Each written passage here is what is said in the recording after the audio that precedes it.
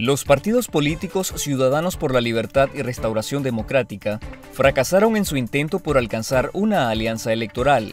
Tras seis días de intensas negociaciones dominadas por pugnas, reproches y descalificaciones, C por L inscribió unilateralmente su alianza electoral con el partido Movimiento Unidad Costeña ante el Consejo Supremo Electoral.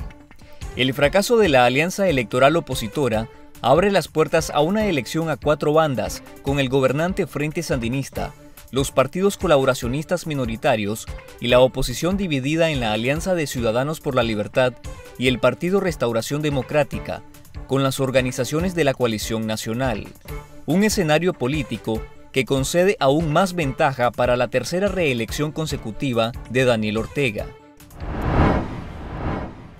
Tras el fracaso de la unidad electoral, la Alianza Ciudadana que agrupa a la Alianza Cívica y Ciudadanos por la Libertad convocó a las fuerzas cívicas, sociales y económicas del país a que se unan a su iniciativa, asegurando que representan la verdadera unidad opositora.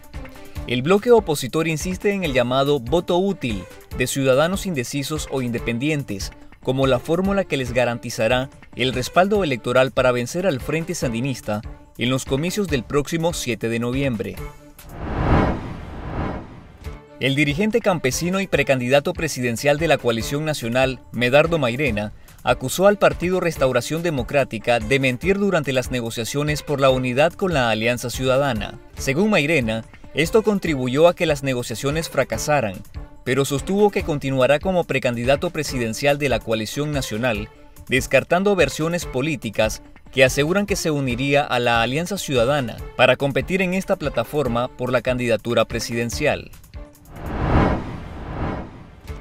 El gobernante Frente Sandinista también inscribió su alianza electoral Unida Nicaragua Triunfa ante el Consejo Supremo Electoral. La alianza oficialista está integrada por ocho partidos políticos colaboracionistas de la dictadura y tres movimientos sociales de poca relevancia. Durante la inscripción también se registraron como personalidades que acompañan la alianza al ex vicepresidente Jaime Morales Carazo y el exdiputado del Parlacén José Antonio Alvarado.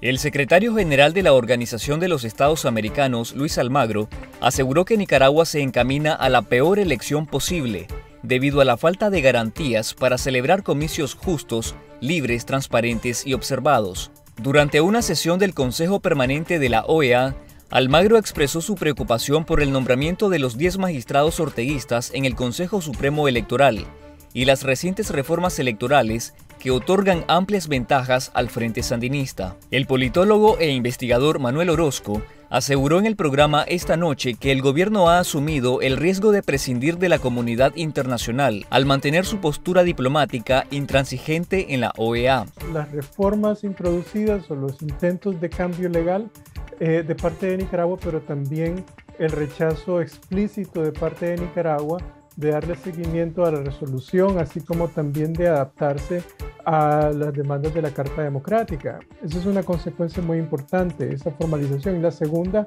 es que da pie a una reunión adicional de un Consejo Permanente en donde se va a explorar una resolución en los próximos tres semanas en donde se va a determinar el procedimiento que puede tener o aplicarse sobre Nicaragua.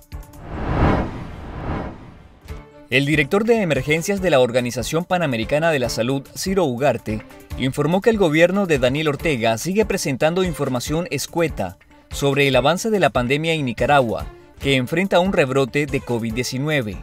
El funcionario reiteró que la falta de información impide analizar el grado de transmisión del coronavirus en el país.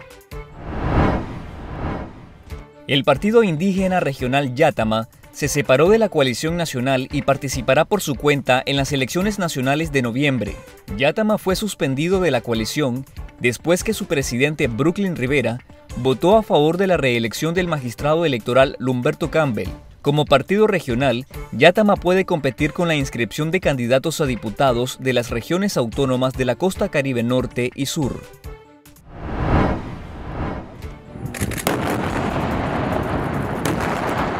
En Medio Oriente, la escalada militar entre el ejército de Israel y las milicias palestinas Hamas y Yihad Islámica provocó la muerte de más de 130 personas tras una semana de intensos bombardeos. Israel desplegó la mayor ofensiva militar de los últimos siete años contra la base de Hamas, mientras las milicias palestinas han lanzado más de 2.000 cohetes desde el pasado 10 de mayo. El Ministerio de Salud compró 1.2 millones de tabletas de ivermectina, simvastatina y vitamina D para atender casos de COVID-19 durante el 2021.